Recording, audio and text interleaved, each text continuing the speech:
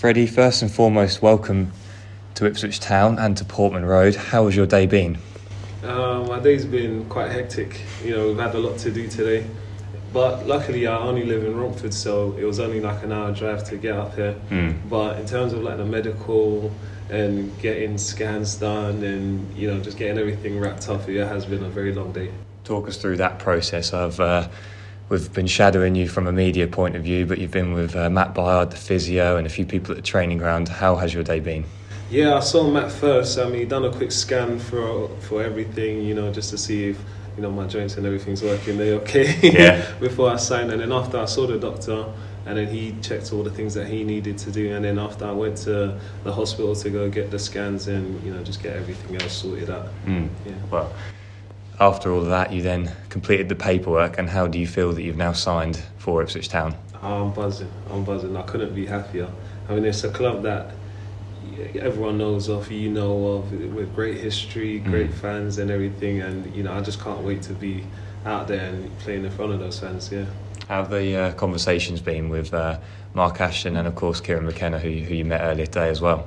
Yeah, and we've met previously before Mm. that, and we've spoken previously before that, and I think he was a great influence in me coming here. Yeah. because the conversations that we had, I mean, we got on really well, you know, in terms of talking about family life and football as well. So it helps when you connect with a manager in Mm. that sense. And I do thoroughly enjoy his thought process and his views and his objectives that he's trying to achieve. You know, they fit in with mine exactly. Mm. What, uh, what are your plans for next season?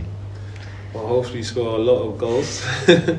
hopefully win some titles and win as much as possible. I Mm. think this is a great club that needs to be in higher places, and I think we definitely can do that. I think it's fair to say as well. I know you've played at Portman Road before, but you genuinely seemed quite amazed at the size of the stadium when we were going round today, and how much you're looking forward to now playing here as a home player.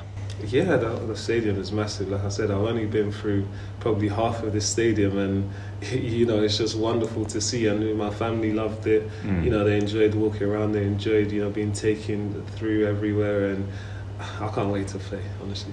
Can you uh, tell us a little bit about your, your background this season because you, you have enjoyed success with Rotherham, and uh, how do you assess that campaign? I've had great success with Rotherham. I went there, you know, looking to play in the championship, looking to win things, looking to be a part of, you know, something that can move forward. And Mm. with two promotions and a cup win the last season, you know, we had a wonderful chance to play at Wembley. That was my first time playing at Wembley in front of so many fans as well. Mm. So that was great, and that kind of success is something I'm hoping, and I'm, you know, I'll work my hardest to bring to Ipswich Town. Yeah, now that you are going to be an Ipswich Town player, what can the fans expect from you? Uh, goals is obviously the obvious thing to say, and Yeah. I'm sure they'll be very appreciative if I can get those goals. But you know, I'm gonna work hard. I'm gonna just try my hardest, and you know, I'll try to drive the standards up, and you know, get everyone on that same winning mentality and winning side because I think it's already there. The football's already there. The managers' uh, methods and everything's already there, Mm. and hopefully, I can just help continue that.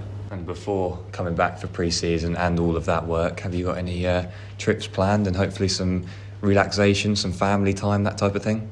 Uh, to be fair, I only just found out today that we're back in seat, so I'm gonna have to deliberate and you know check what I'm doing this summer. But I will sneak off and get a few days off and you know relax and get all the stress off now because it has been a hectic summer. Mm. And finally, we've spoken about how busy your day has been. You were with the club, I think, from about 9 a.m. till 4 or 5 p.m. It was a long day for you. Not so much food, but you snuck a meal deal in there. Just wondering what you went for. Well, uh, someone got me, uh, I think it was a BLT with an Oasis, which Mhm. was alright. Uh, the packet of crisps I didn't really appreciate too much. You know, Yeah. I could have done with a bit of chocolate Kit Kat or something, but you know, I appreciate it. And they've looked after me and my family very well today, and I thank them a lot.